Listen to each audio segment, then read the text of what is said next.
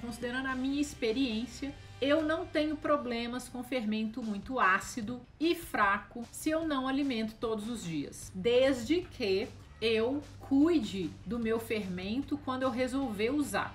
Então, se eu fico alguns dias sem usar o meu fermento, então a primeira coisa que eu faço, antes de guardar o fermento na geladeira para ele ficar lá morando alguns dias, eu vou alimentar esse fermento e eu vou deixar ele chegar ao pico de fermentação. Quando o fermento estiver no pico de fermentação e não depois que ele sair do pico, mas enquanto ele estiver no pico de fermentação, eu vou guardar mais ou menos 200 gramas dele na geladeira. E aí eu vou tentar preservar a minha colônia em maior número e maior vigor. Quando eu tô com o meu fermento no pico de fermentação, ele tem o maior número de população e ele está bombadão.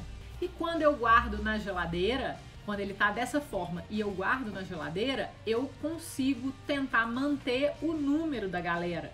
E também a galera tava fortona na hora que eu coloquei na geladeira. E aí eu vou colocar essa galera para dormir e eles vão dormir numa quantidade legal. Quando eu tenho mais ou menos 200 gramas de fermento num pote, eu vou ter mais comida para ele, eu vou ter uma população maior. Então eu não vou ter lá 40 graminhas de fermento, eu vou ter 200.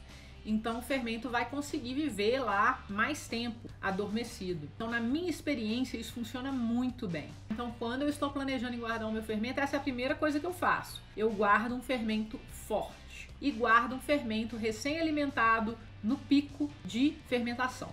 Ah, mas e se ele passar do pico, eu posso guardar? O fermento é seu, você pode guardar do jeito que você quiser. Mas na minha experiência, quando ele passa do pico e eu guardo, ele não vai ficar tão forte na hora que eu tirar da geladeira para acordá-lo. Então eu recomendo guardar o fermento no pico de fermentação numa quantidade maior, né?